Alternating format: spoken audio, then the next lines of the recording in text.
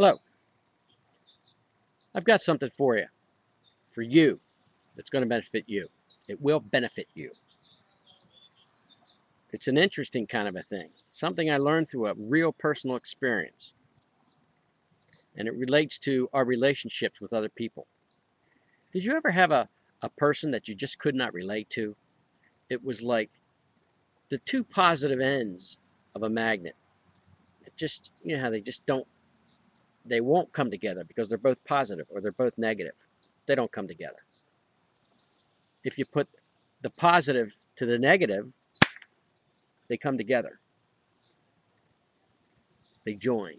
But two positives of a magnet, two negatives of a magnet don't happen.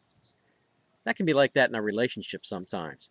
There's something between another person and myself, or another person and yourself, that's keeping you two from relating. And you don't know what it is, you can't put your finger on. it. You don't know of anything you did or they did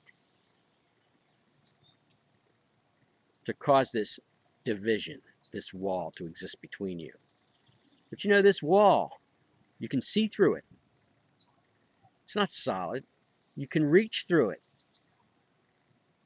This wall has no foundation under it. It sits on nothing. It has no basis. So what's the solution to fix this? What's the solution to get through this invisible, baseless wall? It's a very easy answer. Reach through the wall to the person, literally, and touch the person. Touch that person with a word, with a positive word.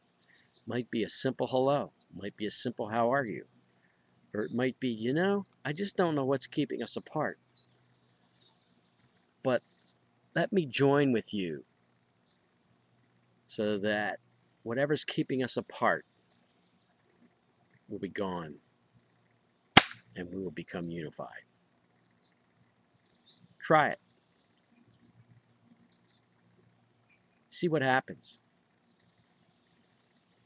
Break down the wall. But you know what? You don't have to break it down.